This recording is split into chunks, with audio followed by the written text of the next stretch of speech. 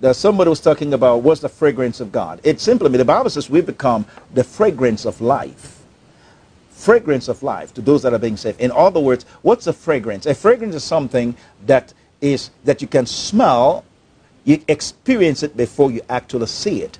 In other words, before people see life, they can actually experience us. We become the the Bible says we are we are an odor of sweet smelling a sacrifice. We can we, that means our actions, our gift becomes a fragrance for people. It's just showing that we, we, the fragrance means it's a is something that is permeating the atmosphere or the air to reveal something that you don't see.